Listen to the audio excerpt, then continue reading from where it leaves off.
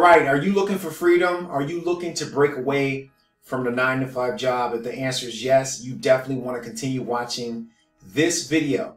Welcome to my one-on-one coaching series on how to start and run a lucrative credit repair business. My name is Mark Clayborne. I'm the founder of Startup Credit Repair Business Training Center. And in today's video, we're going to touch on day one on how to start and run a credit repair business.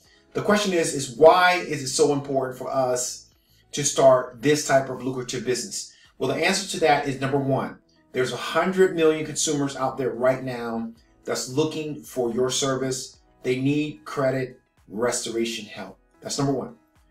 Number two, every single month, if you go to Google, there's 240,000 people searching for the keyword credit repair. 240,000 people are searching for the keyword credit repair. So that alone makes this, this industry extremely lucrative. Number three, it's a great job and hey, you become your own boss. When you break away from the nine to five, you get a chance to run your own successful business. So you become your own boss. And number four, there is a low, low learning curve.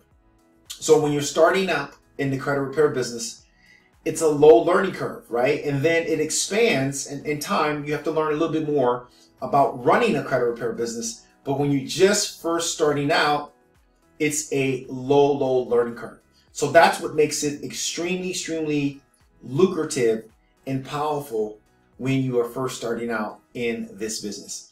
And lastly, you can start this business literally from your kitchen table, all right, with a computer uh, with a little knowledge of credit repair and a little knowledge of the federal and state law. Now, in some states, you can get started for less than a thousand dollars. So if you have a thousand dollars saved up, you can get started with this lucrative credit repair business. Okay, I hope those quick tips help.